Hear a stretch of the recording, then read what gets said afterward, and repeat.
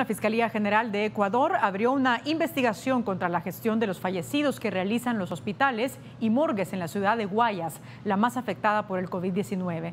De acuerdo con algunas denuncias registradas por la institución, personal de centros de atención realizan cobros indebidos a familiares a cambio de entregar sus cuerpos. Según las últimas cifras oficiales, más de 270 personas han perdido la vida y más de 4.000 han dado positivo.